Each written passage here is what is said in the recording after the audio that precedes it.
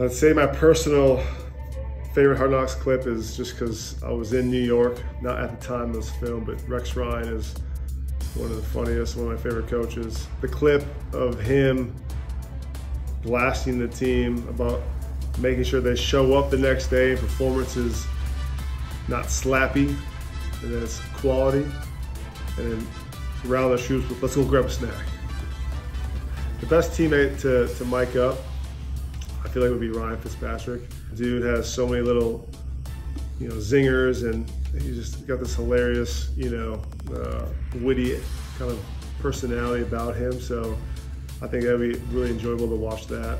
Coach, I mean, Rex Ryan. I mean, you're gonna you're gonna get a lot of dirty, crazy comments that I think are really enjoyable and make good TV.